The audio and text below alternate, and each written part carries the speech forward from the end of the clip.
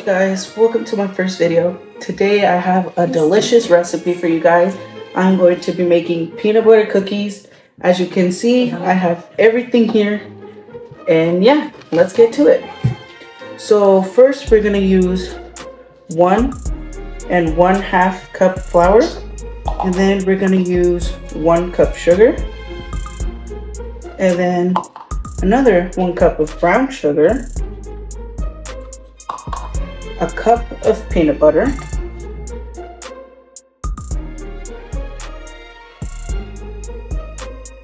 then we're going to use one egg, one half teaspoon baking powder,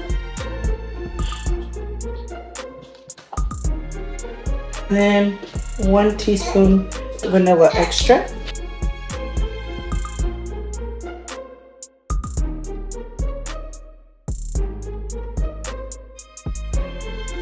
we're going to add just a little butter.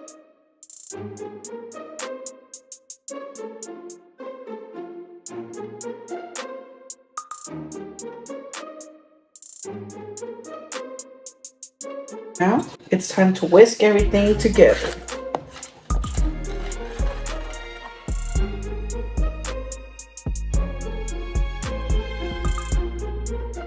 Okay, so usually since I love peanut butter, it calls for one cup of peanut butter, but I like to add just a little bit more.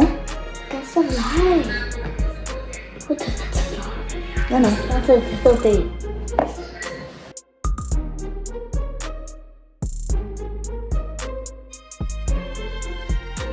It's not so crumbly. I'm gonna show you guys how to make the cookies.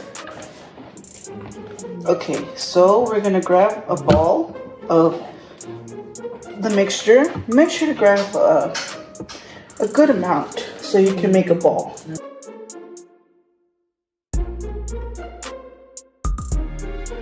Put it here, and you're gonna make it into a little ball. Fork.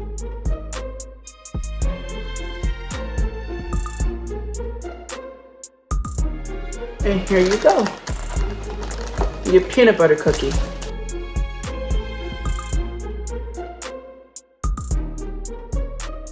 So I'll be back. Okay guys, so now we're gonna preheat the oven for 350 degrees. And we're gonna bake the cookies for 10 minutes. So what I'm gonna do is make the cookies and I'll be back once they are on the tray. Okay, so this is all I made. I got 12 done. So yeah, now let's put it in the oven. So now we're gonna throw it into the oven.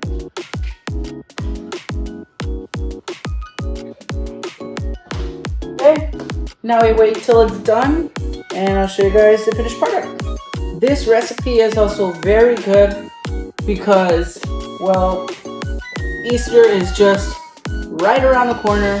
So you can make this as a little pastry to give to guests and it's mostly just good for every occasion and every season.